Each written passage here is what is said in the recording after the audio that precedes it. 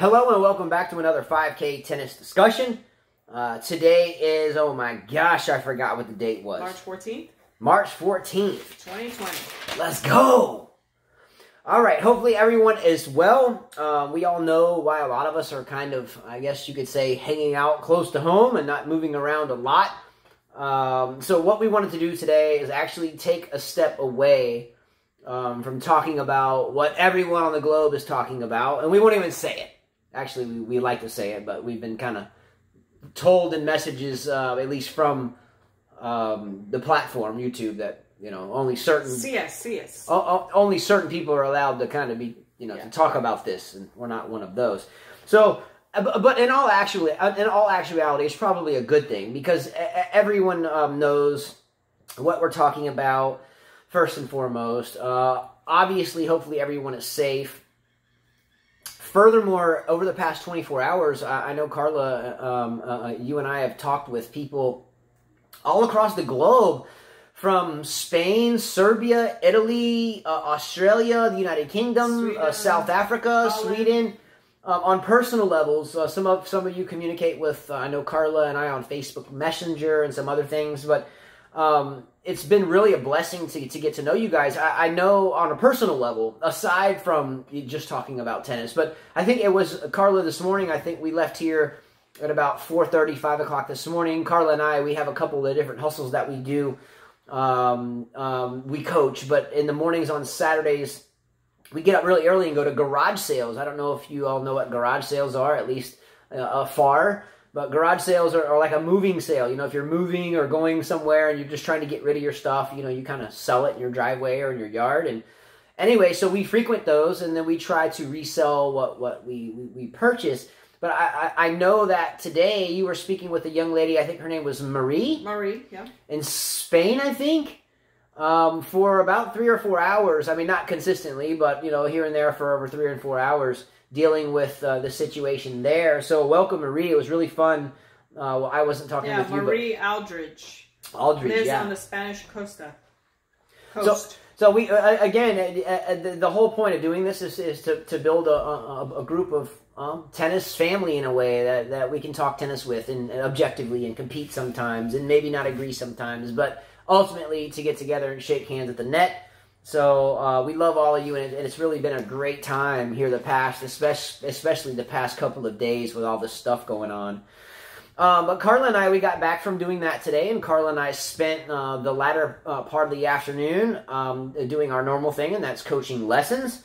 Uh, we got off of the court, I think, around 4.30, 5 o'clock, and we proceeded back here to, to the house. And we both came across an article. Uh, and the article we read, I'm not going to cite the article because we're not reading the article, but the article was related to uh, Rafael Nadal's uncle, uh, who is Uncle Toni, Toni Nadal, who was his lifelong coach, I think, until, you know, relatively recently, where I think Uncle Toni, uh, or Toni Nadal, I say Uncle Toni's like, he's my uncle. I guess everybody calls him Uncle Toni. Hey, Uncle Toni, what's up, man? What's up, Uncle Toni? Toni Nadal. Uh, but anyway, Toni Nadal. I, th- I think they separated in a sense because uh, Toni Nadal has always meant business as a coach, like on in your face, hard, tough coach. And I think Rafael Nadal has a couple of academies now. We know he has one in Spain. I think he has another one in Cancun, Mexico. So what better than to have that type of tough coach in your face, hard hitting type guy at your place that made you the champion that you are. With that said, though, um, Carla, can you read uh, me the couple small statements that Toni Nadal stated uh, in this article about how tough he was on Rafael Nadal? Sure, he's got like three of them. Um, and of course, it wasn't translated right, you know, because he speaks Spanish and usually things don't get translated right. If I talk about myself, a good thing I think was the requirement. Rafael was the boy who, from a very young age, demanded the same energy of the final of the European Championship in training every day. I'm guessing that's the French Open, the European. I think it was more difficult for Rafael, Rafael to train with me than to play the European champion. The daily requirement is what I think that led him to develop his conditions to the maximum. Evidently, he's become number one thanks to his efforts, thanks to his talent, but also thanks to working with his great commitment every day. So the moral of the story here is, i- uh, I, guess what he's trying to say is he may have been too tough on Rafael Nadal. I, I am going to call hocus pocus bullshit on that because he's got 19 majors, one away from from Roger, um, and he obviously didn't get to that position um, by someone patting him on the back all the time. Oh, you did so good. You did so good. Good shot, good Good shot. So great forehand. You did so good. I guarantee you that's not how you become a champion in anything, any walk of life. I don't care if it's painting or piano or guitar or drums or going to college or, or whatever your, your, your metaphor is here. I don't think, just the other day, Carla, you and I were going to one of our kids' tennis matches. Mm-hmm. I was pulling into the park and I saw uh, one of my professors from college. He was a uh, he, he taught modern sociological theory, by the way. Tough course, it was a senior year deal. So he's running, and he used, he this was 20 years ago when I was in college, and he used to run the same route. And I was driving by, and lo and behold, there's um, uh, what's his last name? I don't know. Gartman, Dr. Gartman. Geez, I stopped him, Dr. Gartman, and I just forgot his name there for a second. But I, I saw a wonderful Dr. Gartman running the same trail he did 20 years ago, um, and I and I pulled up next to him and I rolled down the window and I was like, Dr. Gartman, and he's like, you know, looking all crazy or something. But then you know he comes over to the car and I'm like, man, it's good to see you. Um, so forth. You were my toughest teacher, at least for my minor sociology, and, and in the entire four year run. Or actually, took five for me. But looking back on that, he was the toughest teacher. I had the hardest assignments. You could never get away from the books, ever. Seven days a week, you were on the books. But looking back upon that, I look back upon it and say, you know, this guy was one of the fundamental reasons why um, I was able to press so hard through that final year of my senior year. He kind of, with his toughness, um, on every now half of the class failed, but you know those that actually pushed into it um, really had a good time as a group and as a whole. So my question to you, Carlin, to all of you, is this: How tough is too tough? Number one. And how do you how do you as a coach or as a parent, whether this is a metaphor for your children, whether you're a, a, a manager at work and you have employees, uh, or whatever the moral of the story is, how do you quantify or qualify what is too tough? Number one, um, how do you read your uh, students, your, your your your players, your children? How do you read them to understand maybe how to coach them or to lead them, and how to not coach and lead them? Um, what what what do you look at, Carla? How tough is too tough, and how do you decipher? Uh, and, and and and how do you kind of uh, make sense of it? I think too tough. Uh, there's quite a few factors. Too tough. If you're making uh, a student cry, then I think you went a little overboard, or maybe they're just sentimental. If you're beating them, throwing stuff at them, I've seen this happen before many times. I've seen parents, I've seen coaches uh, physically abuse the student, which is a bad thing. I think you went way overboard to try to prove your point. You know, there's a way of doing things. Now, what do you mean physically abused? So you're you're telling me you've been at courts? Oh yeah, when I was a junior, yeah. I've watched. I played at Brooklyn Racket Club, and Brooklyn, makes some noise. that club no longer exists. But the person in charge there, um, he did train with professional players. He used to beat his daughter with anything that he had, and I saw him do the same thing with students. I mean, I had one guy that used to hit people with balls at another club. He hit one girl on the throat, on the throat. She went down. Hold up. Hold Oh, hold God. up a second. How can I not? You just called someone out for hitting someone with the ball. No, no, no. There's a way of hitting somebody with a ball, but I remember she got hit right here and she went down. She couldn't even breathe. Now that's bad. That's what I'm talking I, I think that's probably an accident, though. No, he was just too much. He was a military guy. He was just too much. Okay, well, well, wait a minute. Correct me if I'm wrong. I think there's times both of us, Carla, not just you, with our own children. Obviously, we have Yeah, we with have our five own of, children. we have five of this them. that- wasn't his own child. Okay. Well, well let, let, let me define this because I don't want to make it sound like we're beating our kids or something. Look, man, That's my, not the case at all. my dad used to chase us with wooden rackets. Well, not me, my brother, because he would never run. He's and he would tell us, "If I catch you, you're dead meat." But he would never catch me. He'd catch my brother. No, I, I think it was you, Carla, just the other day where Chris wasn't giving our son, our, our fourth oldest uh, son, Chris was, you know, they're not giving 100%. And you picked up your, you know, five or six shells of ammunition, meaning the, the balls, and I mean, just hit like heavy balls, No, like right at him. Like, tw- I think one of them hit him square in the back, Ah, Carla. He, yeah, so that's nothing. Come on, he can handle it. He's a boy. Okay, but you, I was across the net. There's no way that ball hit you that hard. He's been hit with baseballs. Okay, while he was waiting to hit a base. He's been hit but but but yeah, but when he got hit with baseballs, he was playing baseball and he had Oh, a helmet come on. and It was like a wasn't foul. listening. Come on.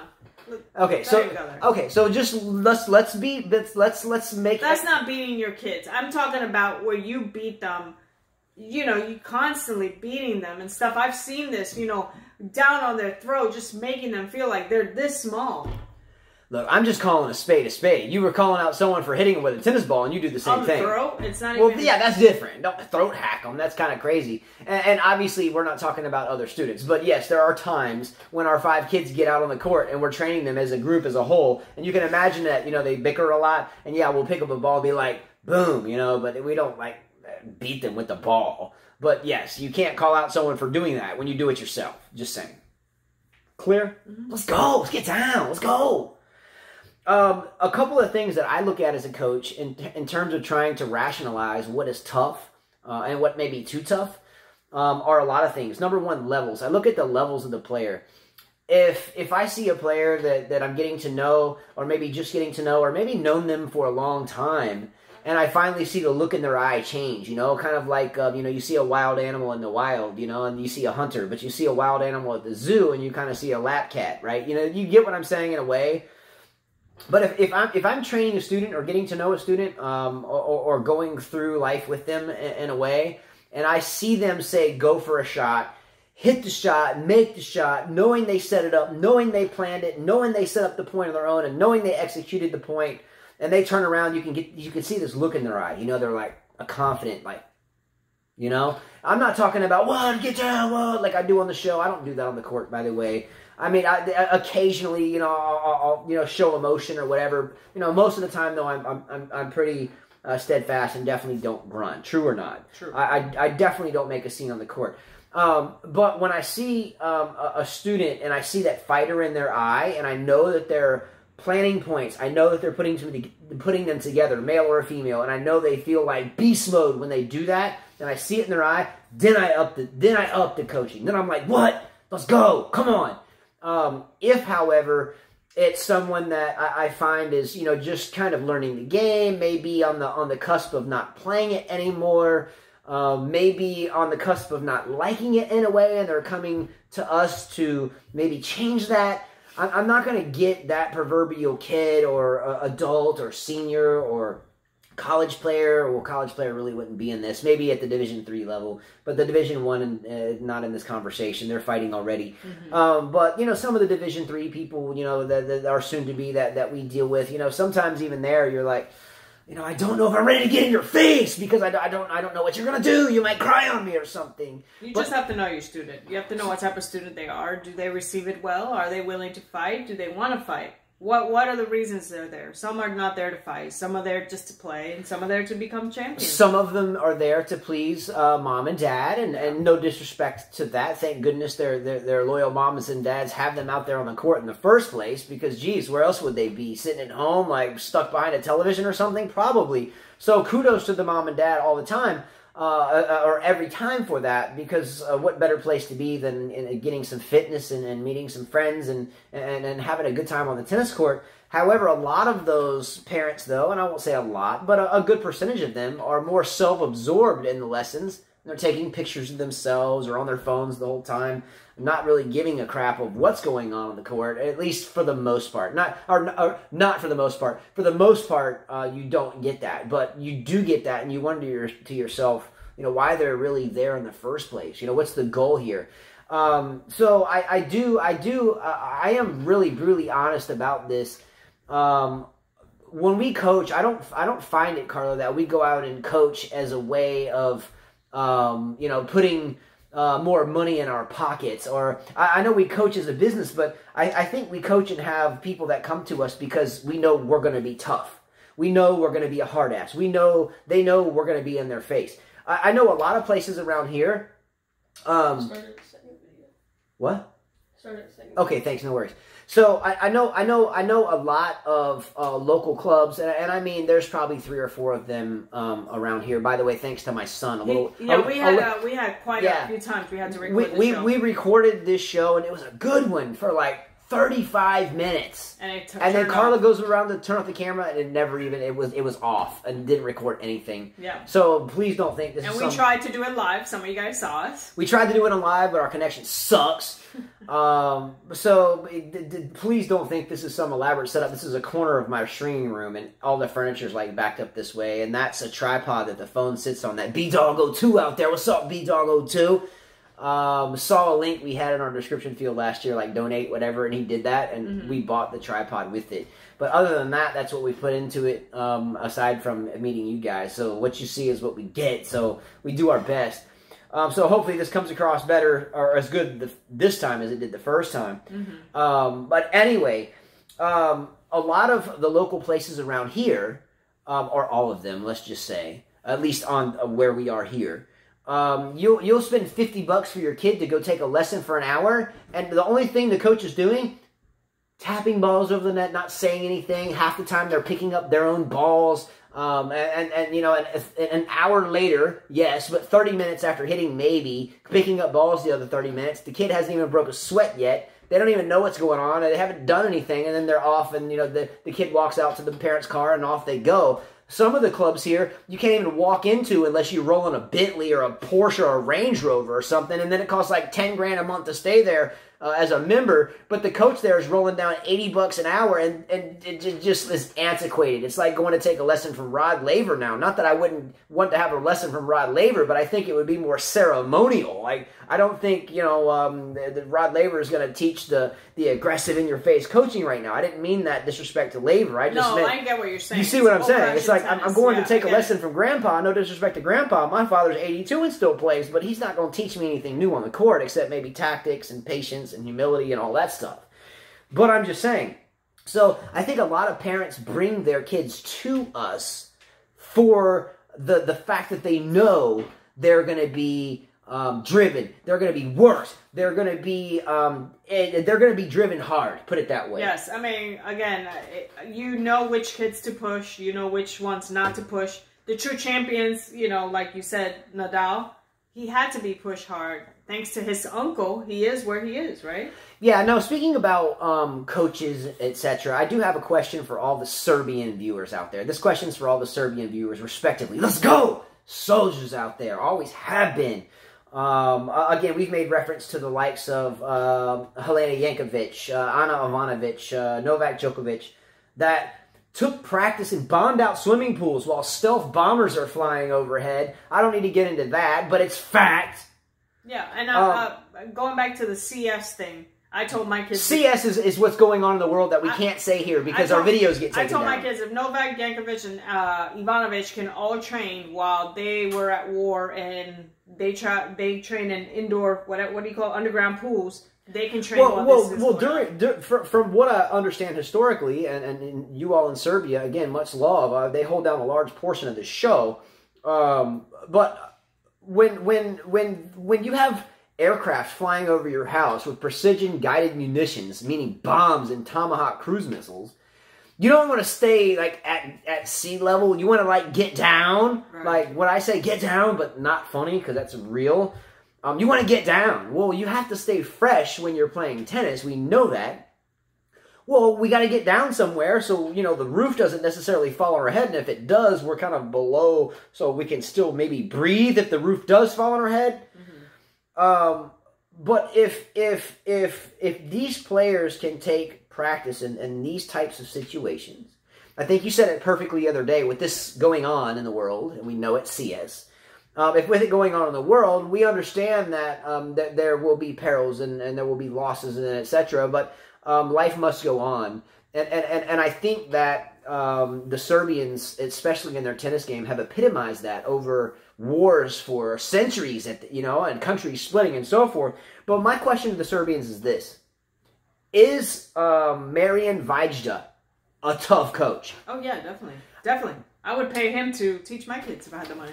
I have- Absolutely. I have I have always been super fond of this guy. Not that I've ever met him or ever even been around him. I have been at the U.S. Open a couple years and been near Djokovic. Never met, just you know walking by type thing. And um, but this guy Vajda always to me demands respect. When when when I have seen him, I've never met, but just in his presence or seen him on television. It looks like the man demands respect. Am I wrong? No, you're not wrong. Now, is being um, a demanding, in your face, hard hitting coach imperative for developing a champion? what? Nothing. Yes, definitely. Obviously, any champion, you can ask uh, Federer, you can ask Nadal, you can ask Djokovic, Serena, Steffi Graf, Boris Becker, Borg, McEnroe. They all had to deal with a tough coach in order to get to where they're at. All of them. They all had to cry. They all had to sweat. They all had to not sleep. I mean, yeah, definitely. You need to be tough. So you don't think it's a good recipe for success to have your student be able to hit just the forehand and go, oh, good, good shot. No, no, no. You're doing really well. Because we all know that tennis is mental, right? I mean, you could be down Gotta five, tough. You gotta be down five one, and some people know how to figure it out, and that's what makes a champion. They don't break down; they figure it out. So you have to be able to handle someone pounding you and pounding you. It's almost like the military; they pound you. The Navy SEALs they pound these guys until they can finally get through. I mean, these guys don't sleep, they don't eat, they're constantly, you know, being yelled at. And look, that's why they're tough, Because it prepares them, it prepares them for when the shit hits the fan. right? Period. You can't go and, and, and, and be so nice all the time to your student. Now, I, I do see coaches, and man, I, I can't tell you the list is, is, is never ending about coaches that I've met over the years, and they're all about themselves. They're all about hearing themselves talk. They're all they're all about fitting in with the parents. They're all about having the same cars and, and, and going to the same clubs and all this stuff. Meanwhile, the poor kid that wants to learn is just, you know, fodder in the background. It's just like a pawn for their egotistical escapades. It just is, and I see it every day. So the last thing I'm ever going to do is have some child roll out to my spot and not get in their face. And I'm sorry, but today we were teaching a seven year old, and I got in her face a bit. Did I not? Yeah, but she did great. And she did great. Love, love her. Great. But I don't care if you're seven, if you're five, if you're four. If you're out on the court, it's business. Let's roll. I tell every student that I teach, every damn student, I don't care if it's my kids or someone else's student, when you come to that fence and you shut the gate and you walk on this court, it's business. I don't care if mommy and daddy are right behind me in the fence. I'm going to tell you what's up. Have I have I ever gotten into it with a couple of parents, Carla? Yes, definitely. I've had one dude like wanting to kill me. Um, anyway, I won't go there. I'm just saying I've had dudes literally want to kill me because I'm like in the in their daughter or whatever's face, like, come on, we can do better than that. But ultimately, they they realize that um, we want to build and, and we want to have good players. She's looking at me like that's crazy, but it's the truth, and I speak the truth. I'm not going to hide behind the truth. I don't have any disrespect for anybody. I'm just saying I'm not going to not be myself because I'm worried about who's giving me a, a thirty dollars at the end of the hour, man. But that's not even why we coach. We we do seven other things. We coach because we have passion for it, and we want to share our passion with the game or of the game with others before we leave this planet. And based upon this CS, it might be next week. I'm just kidding. Anyway, but I, I will always be myself on the court. And if you come to my court and I'm coaching you, come to the fence, shut the gate. You don't give me effort. You're running. If you don't hit balls, and I know you can hit balls and and and, and, and, and, and, capitalize on your opportunities, I'm going to get in your face. And, and if you and if parents you don't like it, then just ask for her all the time and don't let me come out there because I'm going to As get. for me, wait a minute. Wait a She, minute. she's nicer. She's Wait, no, no, nicer. no, no, She'll get into talking. And yeah. I don't do all the talking stuff. Wait, there's female, I don't do talking. There's female students that prefer you because they say I'm too tough. So don't even go there. Okay, well that's fine. But You there may must be some weak females. You might talk, you may talk a lot and you might bark, but when it's time for us to drill and hit, I'm tougher. I disagree with that. Ask any student. I, I disagree with that. I, I totally disagree with No. that. May, maybe across some that you that you know that There's some that don't like me. I know that. yeah. There's you know I think we're we're tit for tat on that. We have some that like and some that don't. Uh, but ultimately, the goal is is we're, we we really try to be the tough coach like the Vajda. At least I, I I'm thinking he is, but like Toni Nadal, because you can't raise a champion unless you're tough. I'm sorry, you may hate. Yeah, like I said, every student is different. What are you there for? If the purpose for you is to get better and be at the highest level, then we're gonna go hard. But if you're just there for just to be there, then it's different. I'm not gonna chew them up. I'm not gonna yell at them. But we will still proceed Oh, to, to a show them and to develop Yes. them and grips and strategy and serve. Definitely. How many students do we have, Carla, that come to us that parents have been paying eighty dollars an hour to three times a week for five years? They come out to us and they can't even serve still. The only thing they can do is hit a forehand. How many? Yeah. A multitude? Yeah. And then they come here, uh, they, they, they- and then we work on the serve, and they're hitting serves in three weeks. Mm-hmm. Because so many coaches they don't want to deal with it. They just want to mingle with the, the parents and talk about their new Benzes and BMWs and Range Rovers and not give a shit about the kid as long as they're hitting a forehand. Hence one of the reasons what's wrong with American tennis. Anyway, ending the show with this topic. In tennis, we have the proverbial medical timeout, right? We have the proverb, per, proverbial medical timeout. You know, you can have a, you can be winning a match, you know, 6-0, 4-0, and then your opponent can say, "Oh, my leg hurts. Oh, oh, oh, I just, oh, I need a trainer. I need a trainer. No, my back. Oh, I just, my, I just ripped the muscle." And, and then the match stops, and what can what can happen is the person that was on fire can cool down. Um, it can allow it, it can allow it can allow some deceit into the match. Uh, it can piss the person off that um, th- th- that was on the roll. By the way, so so if I'm in a match and I'm destroying someone and they call a medical timeout, um, it happened to our son not too terribly long ago.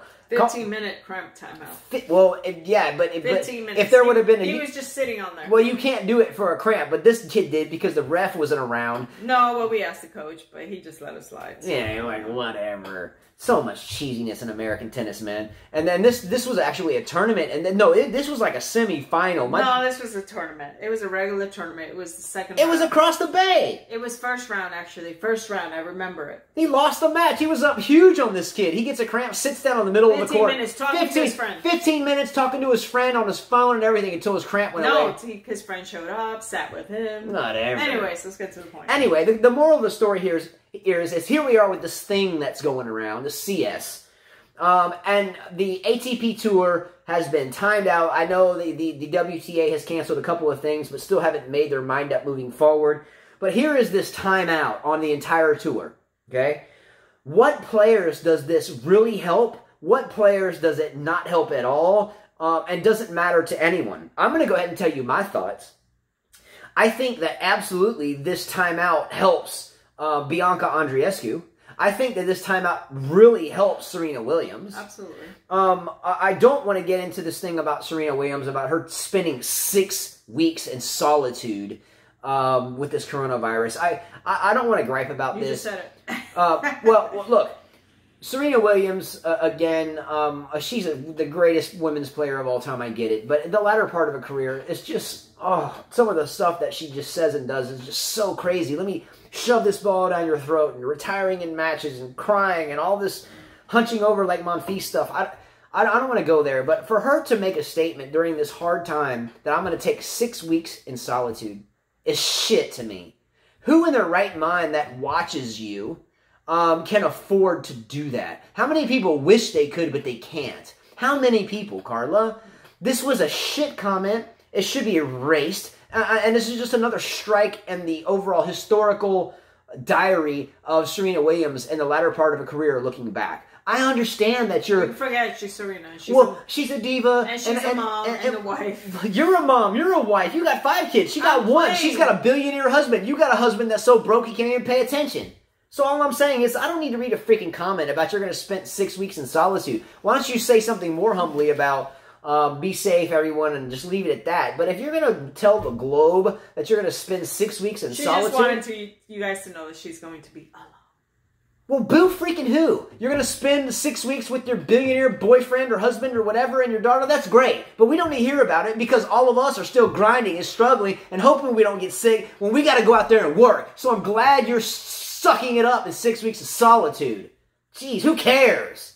Go teach a lesson like some of these other players that have to do it to survive while you're spending six weeks in Grand Bahama in solitude with your boy. Come on, man. Spare us. Learn how to be a global icon and stop being a diva.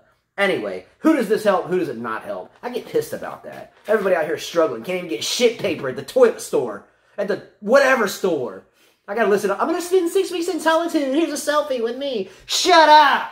Got five children. Got a wife. Got whatever, man. Give me some shit paper. Done. Shit. Anyway, I'm out.